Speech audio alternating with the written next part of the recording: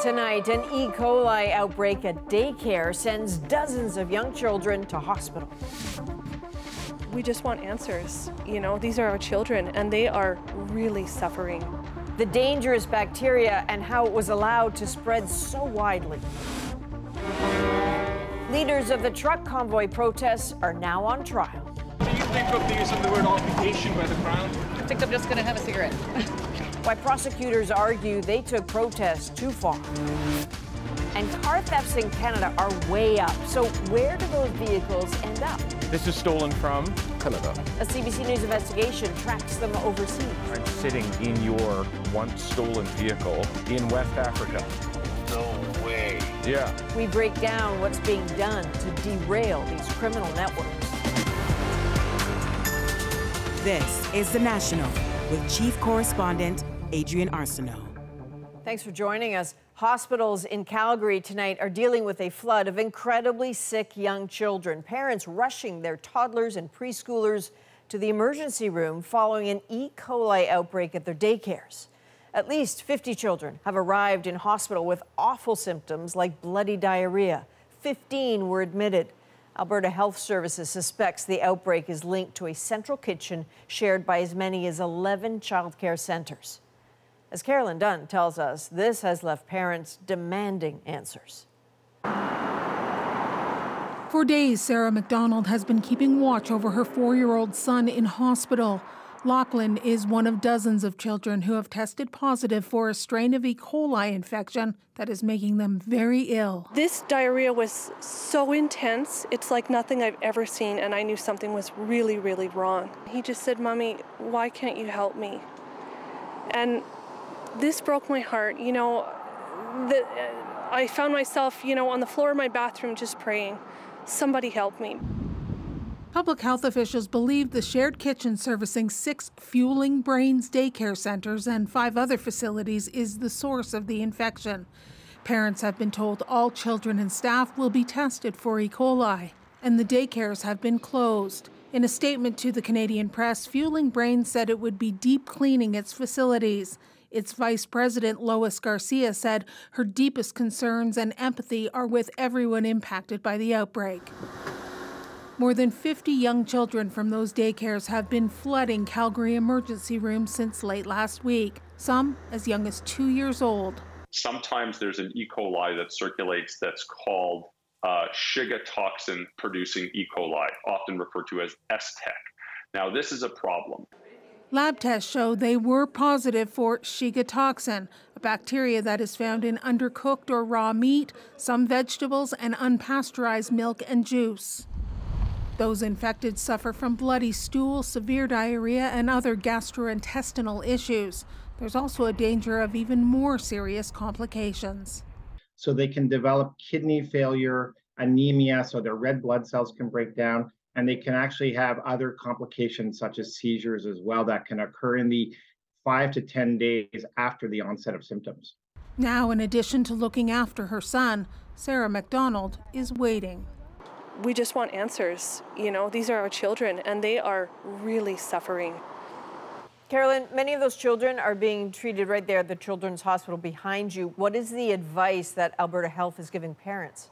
Well, Alberta Health Services is telling anyone exhibiting symptoms that they should get medical help immediately. It's also important to note that this strain of E. coli is transmissible from person to person without proper hygiene. So experts say diligent hand washing is essential, particularly after a bowel movement or a diaper change.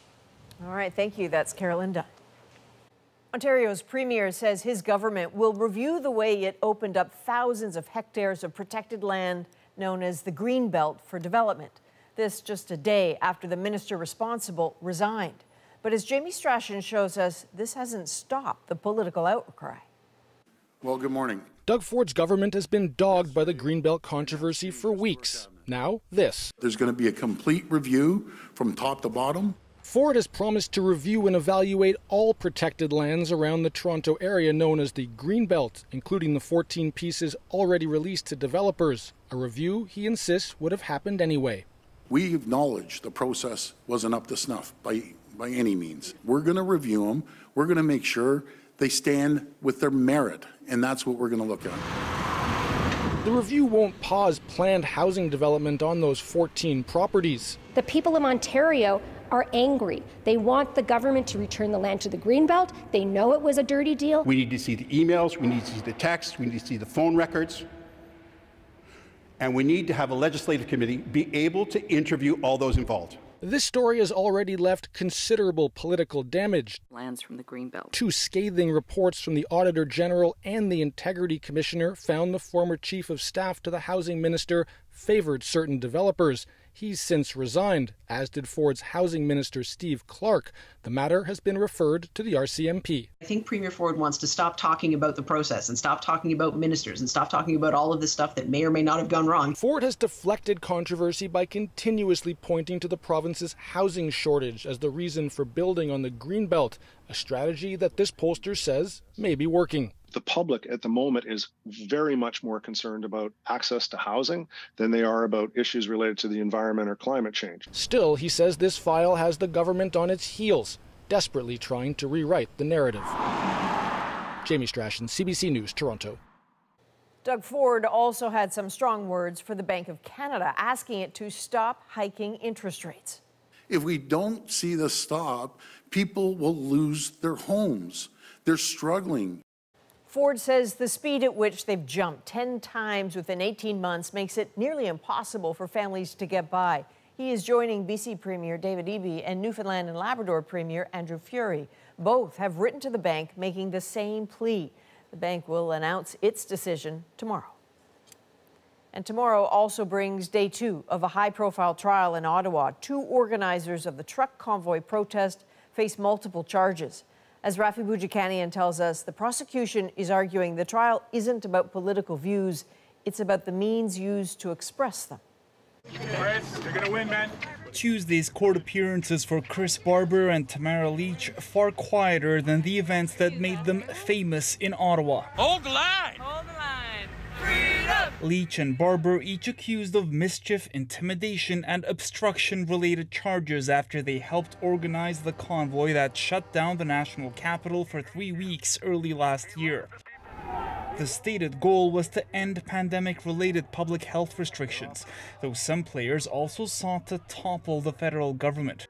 Police largely watched until the government resorted to the Emergencies Act, granting officials extra powers like freezing financial assets and removing vehicles. Lich and Barber were arrested.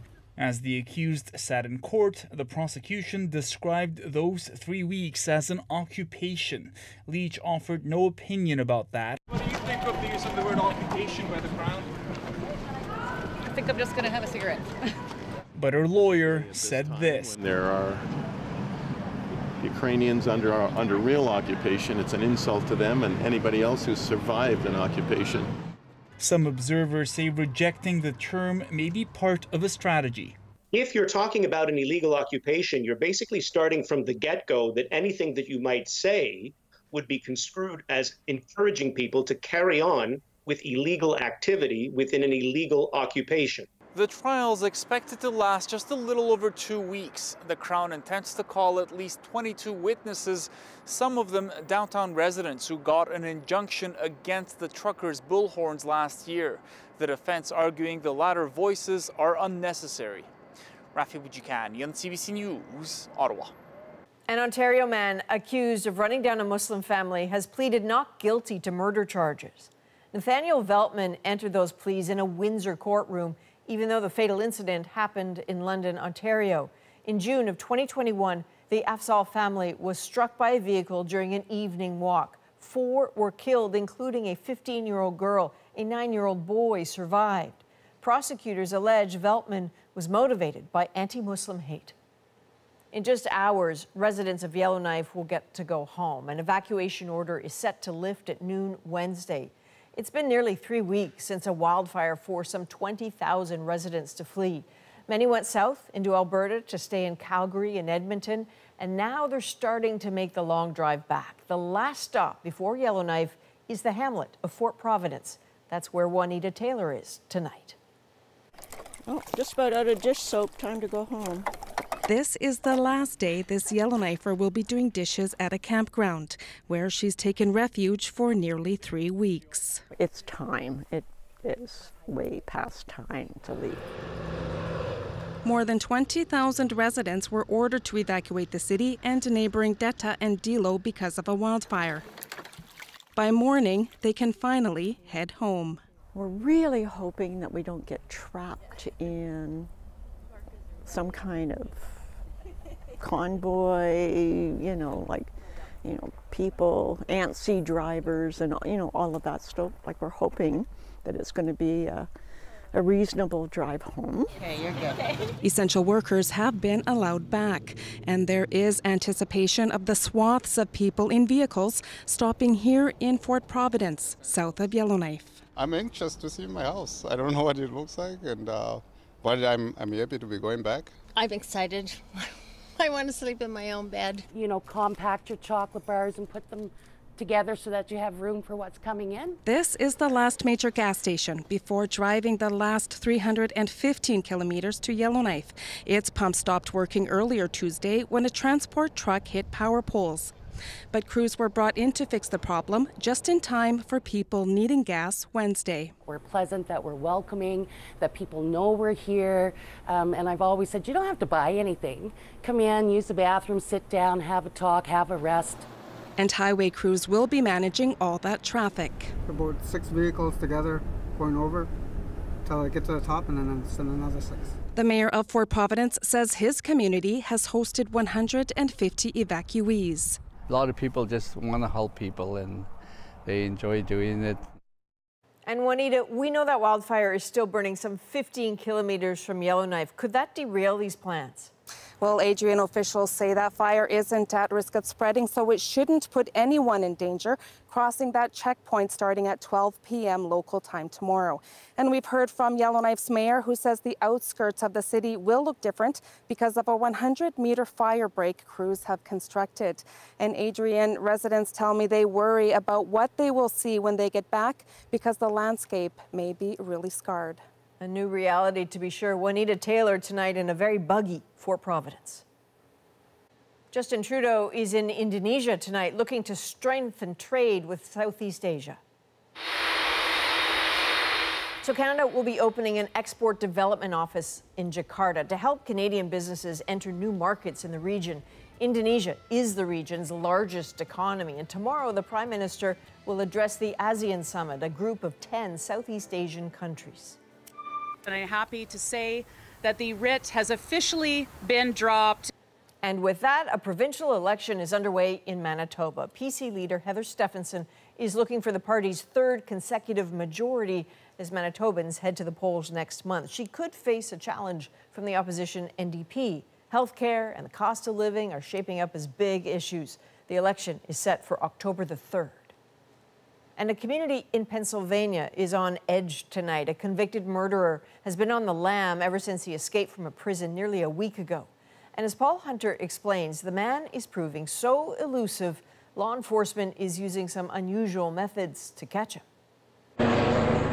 Somewhere out there in the thick woods and outlying suburbs west of Philadelphia, a convicted killer, now prison escapee, is on the run. He's a bad guy. He needs to be in custody, and we're determined to capture him.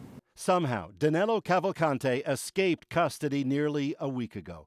Considered dangerous and desperate, police aren't saying how he made it out. They themselves are under fierce pressure to now recapture him, even resorting to an unusual tactic. Listen carefully. An audio message blaring from that helicopter in Portuguese from Cavalcante's own mother. As desperate as he is, maybe he has a change of thought, and here's his mother telling him to surrender, and his family cares about him. He's desperate, he's hungry, he's been in the woods, he's dirty. Perhaps this is what puts him over the edge where we can get a peaceful surrender.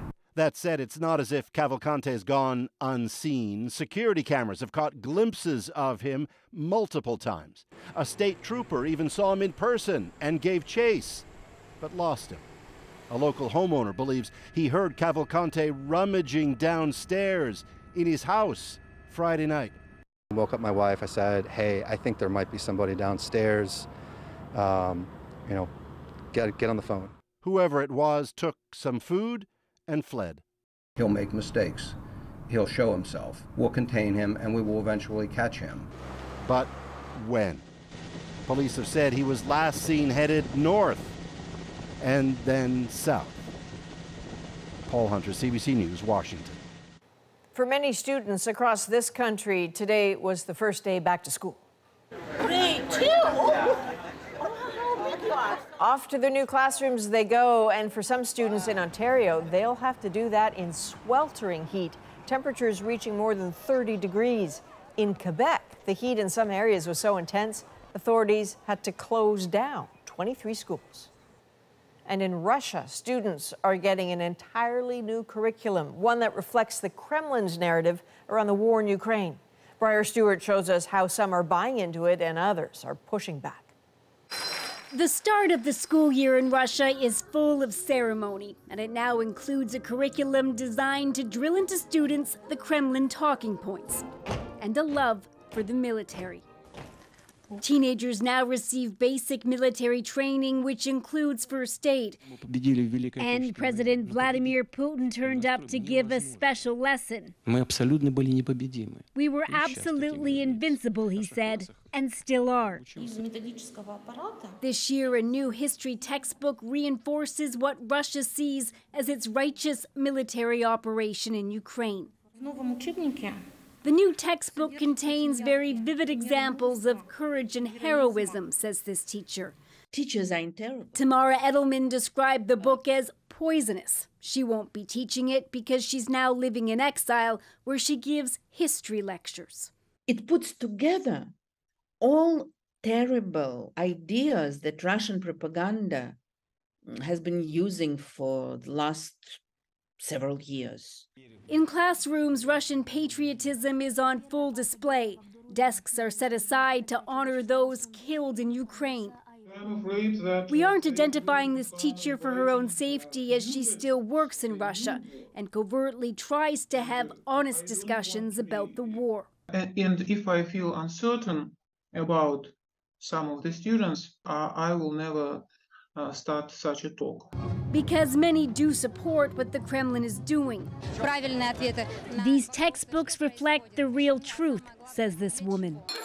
The educational push is strongest in areas that Russia has illegally taken over, like Mariupol, where the Kremlin is trying to convince an entire community that a violent invasion was just and people should be grateful.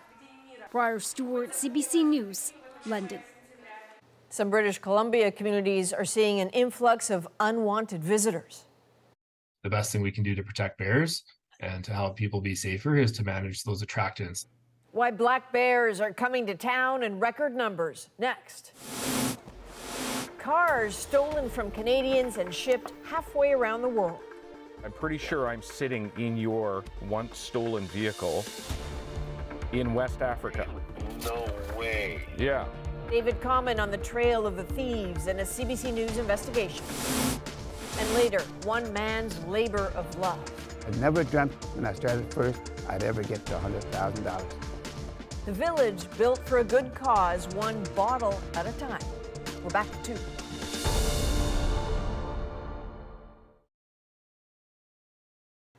A city in northern BC is seeing some new unwelcome visitors, black bears. It has gotten to the point where the RCMP has asked people to stop calling in bear sightings. Lindsay Duncombe explains what seems to be causing these close encounters. This sanctuary for orphaned bear cubs is expecting a busy year. It's going to get really bad. The, um, the need will be humongous.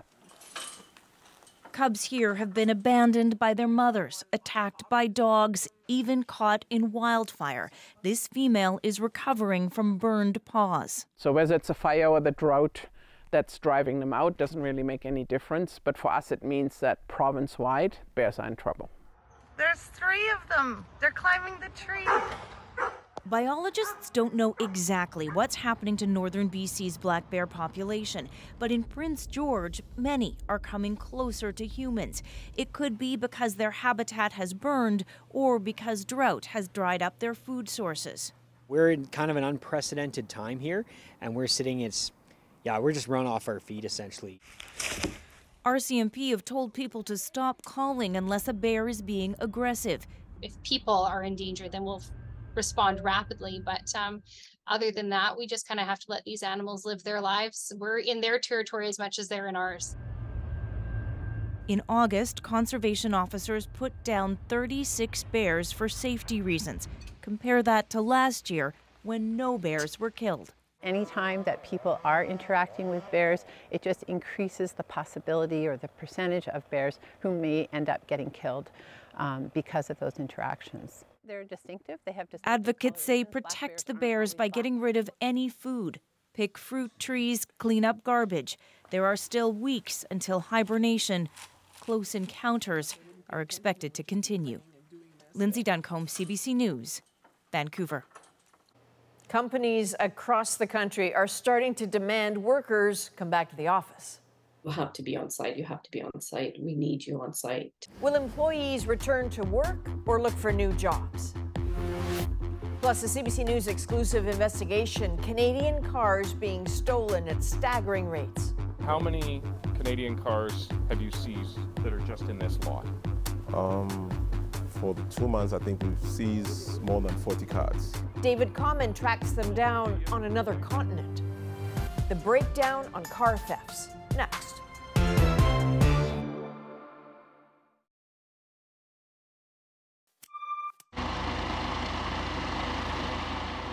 At least two people have died and two others are missing after a weekend of torrential rain near the Spanish capital. Heavy flooding tore down bridges, tossed cars, and severely damaged homes. Some dramatic street scenes saw rescuers using ropes and rubber boats to get people out, including a 10 year old boy who'd clung to a tree overnight.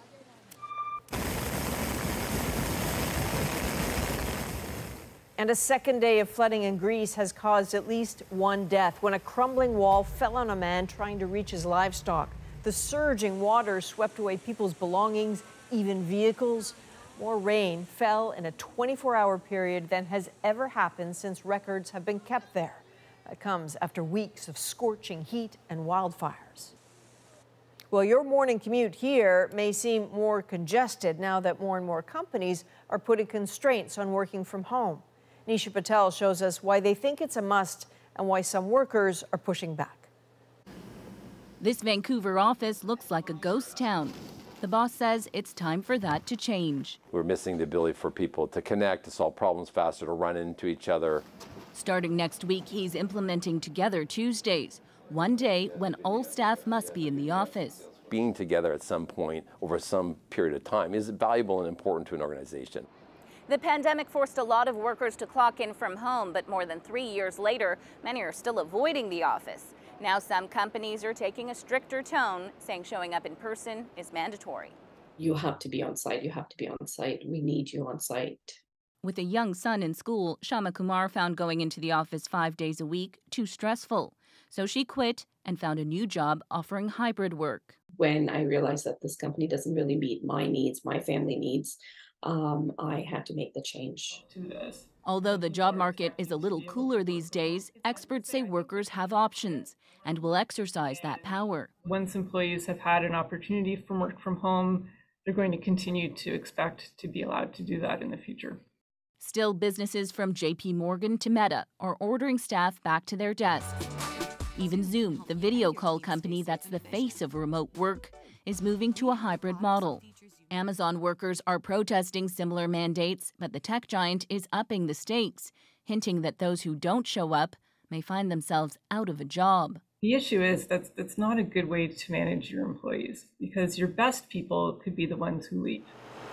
Amanda Nilsson left an employer that wanted her to return in person. She says she's more productive at home and it allows her time to exercise, travel, and take on new hobbies. The quality of my life had improved so much over the last three years of remote work that um, I, I, just I wasn't ready to give that up. So companies pushing for workers to come into the office should prepare for workers to push back. Shoulder shrugs. Nisha Patel, CBC News, Toronto. Now, every show, this is the moment when the National goes right to the heart of the stories Canadians are talking about. And tonight, we're tracking down what happens to stolen Canadian cars after the thieves drive away. So let's get going. This is the breakdown. We chase down vehicles stolen from Canada that end up in West Africa. Okay, this is wild. There's a car with a Quebec license plate on the road. The owners of stolen cars are stunned by the lengths we've gone to. We have been to the dealership that your car was last seen at. And they wonder why Canada has let things get so bad. From Canadian driveways to the streets of Ghana, David Common breaks down the workings of a vast criminal network that seems to see this country as a target ripe for the picking. There we go. Here's an ownership. North York, Ontario. We're in West Africa. Yep. Could I see? There's the original Quebec license plate. Every one of these vehicles ripped off and shipped out. All right. This is stolen from Canada. From Canada. Yes. Ending up sold abroad in places like Ghana. And how many Canadian cars have you seized that are just in this lot? Um, for the two months, I think we've seized more than 40 cars. There are clues to the original owners, from stickers to a snow brush. Oh, even better. Canadian flag. And in one car, a phone number for the original owner, Len Green of Toronto. I'm gonna phone him. Might be too early for a phone call, or maybe looking at a number they don't recognize. Hello? Hi, is that Leonard? Yeah. Leonard, this is going to sound like a really weird call. Um, my name is David Common. I'm calling from CBC News. We're doing an investigation into stolen vehicles, and I'm pretty sure I'm sitting in your once stolen vehicle in West Africa. Yeah, I'm in West Africa. No way. Yeah. Yeah. Do you, do you mind if I FaceTime you? Uh, I don't mind at all. Does this uh, look like your car? That's it. That's it. It was stolen um, September, October of last year. And what happened? So we were going out that day in the morning. My wife went out to get in the car, and uh, it wasn't in the driveway. When we checked the camera, the video from the camera from the ring uh, doorbell, at about three in the morning, you see a car and two guys pull up towards the driveway. And about four minutes later, the light goes off. They're gone. The car's gone from the driveway. I know this is probably not the call you expected today, but your ownership is still in the glove box. Um, here's your car. There's a car that still has a New Jersey license plate on it. There's a car stolen from North York over there. I can't believe it. And and my documents and everything are still in there. Yeah. That's crazy. Crazy indeed, but Len is hardly alone. Eastbound 47, about 190, 200. Auto theft in Canada has never been this bad. High speed chases, home invasions, violent carjackings, but rarely do the bad guys get caught. Last year, they stole 27,000 cars from the Greater Toronto and Hamilton area alone, one every 17 minutes. A large portion of them are actually leaving the com- country. You'll see about 80% of them uh, going out through the ports. Detective Mark Haywood of Peel Regional Police is one of Canada's foremost specialists on theft for export. Uh, much easier to sell 15 cars on the black market than it is to sell 15 keys of cocaine or 15 illegal guns. And they're seeing that profitability. Just how big? Deputy Chief Nick Milinovich. Last year in 2022, there was over a billion dollars worth of vehicles uh, that were stolen across Canada. And it's now one of the top three uh, funders of organized crime. So it's big business, big profit for them. Huge, huge. This was the spot it was stolen from? In Oakville, Ontario, It was parked right here. We arrived home from. Greg and Lynn Gannett became just the latest of their neighbors to be targeted. We walked outside and, and the car was not there. They just drove it away, basically. Like it was, it was amazing actually how quickly they were able to steal it. So smoothly, the thieves only barely triggered this motion capture camera. When police arrived, they told them the car's gone forever. It's probably already on its, It's way to Montreal, going to Africa or some other foreign country. Yeah. After a steal, thieves move cars quickly to shipping containers where GPS tracking is muffled, then placed on tractor trailers or rail lines to the Port of Montreal. What countries are those cars ending up in? Several. We're seeing a lot of them go to the UAE, to Dubai. There's uh, Nigeria is a hotbed for that. Ghana is another place that they're showing up in. It's scary and increasingly violent.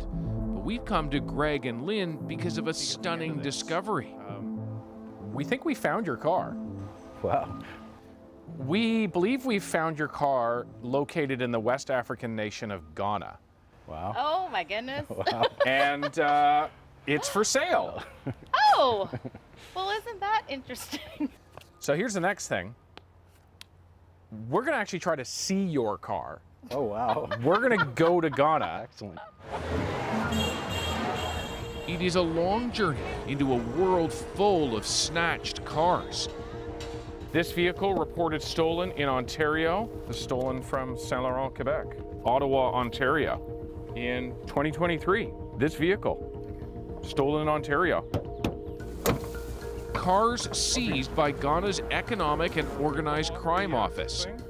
We are doing all that we can to ensure that at least, if not to eradicate all, we can actually bring it to the barest minimum.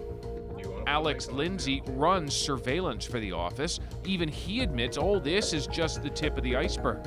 I think the Canadian courts need to be more proactive in trying to stop it before even it gets down here. Okay, this is wild. We're just driving along through traffic. There's a car with a Quebec license plate on the road in front of the organized crime authorities, just driving along.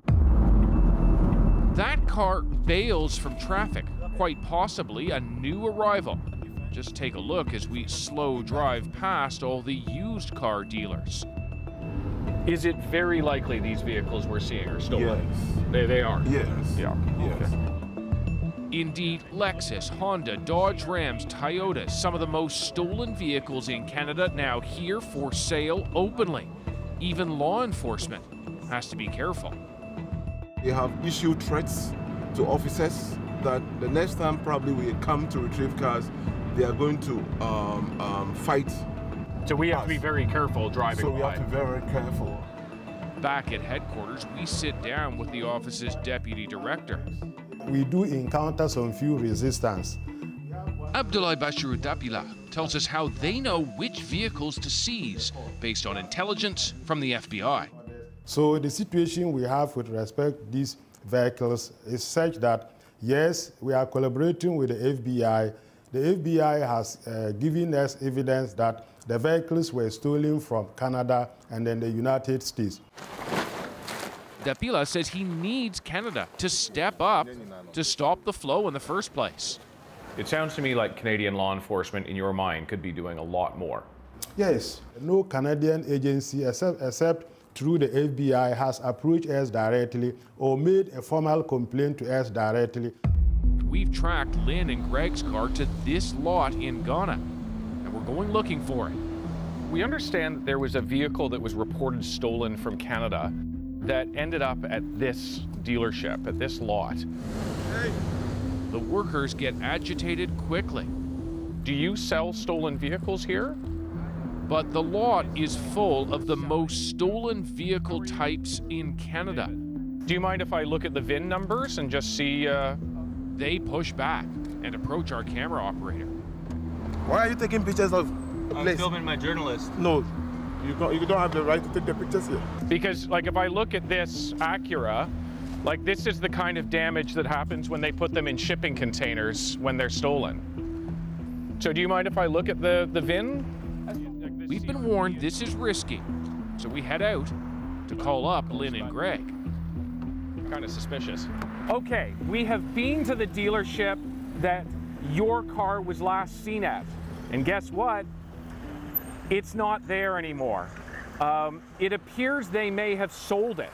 It's incredible to us that, that you are where you are at the lot where you, you know you tracked us from the car from Ontario across across you know the world to Ghana.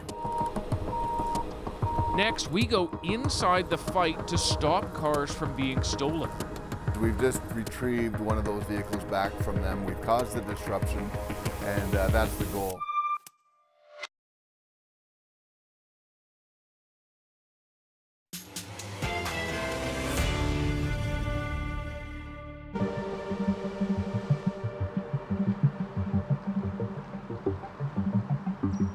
Ship has just come into port in Montreal, loaded with stolen cars being returned to Canada, intercepted by authorities in Malta halfway through their voyage. Our investigators, they will cut that shortly.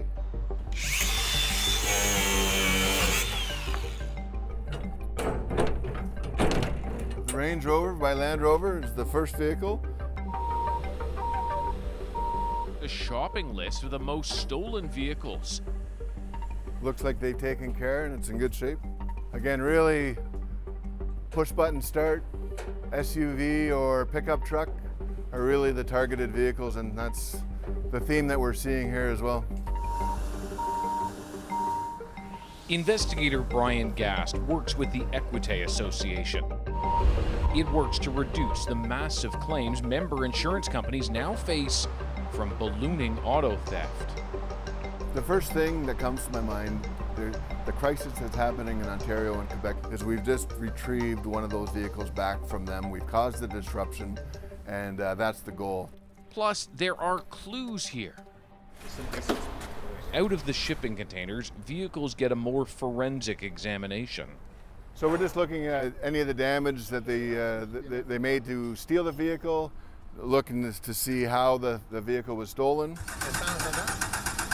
This was an onboard diagnostic port attack, or OBD.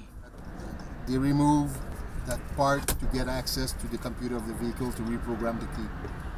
So it's a reprogramming theft. And then we have uh, relay attacks where you have somebody at the front uh, doorbell or your in front of your residence what, with what looks to be an antenna. They're trying to intercept the re- radio frequency between that uh, key fob and the vehicle. So, how many times has your car been stolen? Three times. Over how long? We originally met Natalie Cara after the first theft. Here it is a suspected relay attack in her driveway at home. The car was recovered thanks to a GPS system on board. Months later, she looked out the window at work. Here. And you're you're watching them steal your car from that window. Yeah, correct. She told Three men, one getaway car, and Natalie confronts them. I'm looking and I'm like, no! and I'm coming out and yelling at them. I'm, I'm like, what are you guys doing? And uh, they got afraid. So one of the guy went into the car and I was face to face like you and I. Like this close. This close, even closer. and then I said, and all hood, black jeans, hood, and then the mask. And then he said, sorry. He said, sorry, jumped in the car, and then off they went. Looking at the damage, this is the newest form of theft. Under that damaged wheel well is the CAN bus. Thieves connect to a port there and can quickly unlock and start the car. It's a weak point. Yeah. And I asked Lexus what they're doing about this, and they're working on it. We hear that from a lot of automakers. Yeah, they're working on it. Well, Natalie's story isn't over yet. She brings her car here for repairs, but her in car GPS system then alerts her the car's on the move. And an hour later, I got the manager of Lexus calling me and saying, you know, your car got stolen overnight. But it's this car. Yeah. Recovered again. Thanks to the GPS system the thieves failed to deactivate. you know, the reward's very high and the risk is very low. We have anecdotal stories of people who have stolen cars, walked out of court, and stolen another car in the same parking lot. So, you know, the, the risk there is not what it needs to be. How good a job do we do in Canada combating auto theft? I don't think we do a very good job. Michael Rothe represents leasing and finance companies who are urging widespread action now. In the last five years, there's been a 300% uh, increase in auto theft in the GTA. 300%? 300%. What's going on? From our perspective, it's the lack of enforcement. He wants Canada's antiquated system of tracking exports improved, plus far more inspections of containers leaving ports.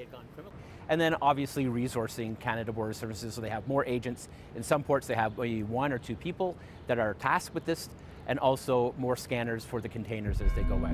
We've become a, a, a global donor in stolen vehicles. When you compare certain brands, there's more cars being stolen in, in, Canada than there are being in the US. Given that they're 10 times the size, that gives you the sense of the, the magnitude of this issue.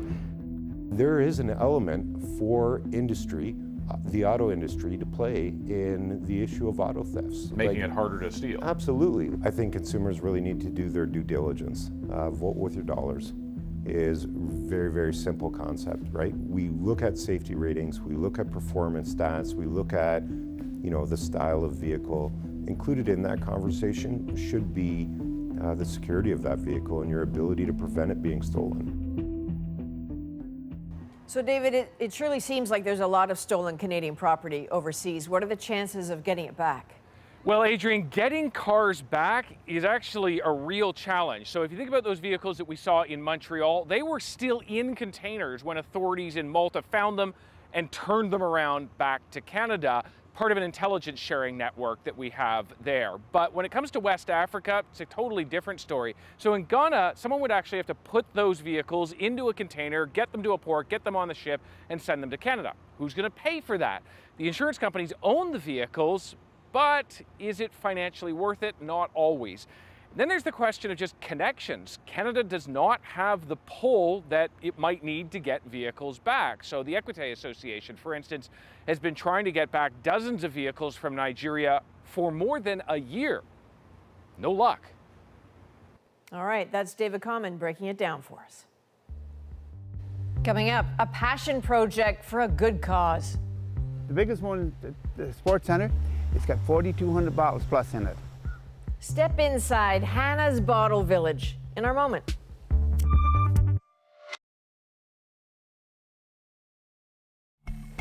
Well, this next story is a labor of love more than 20 years in the making.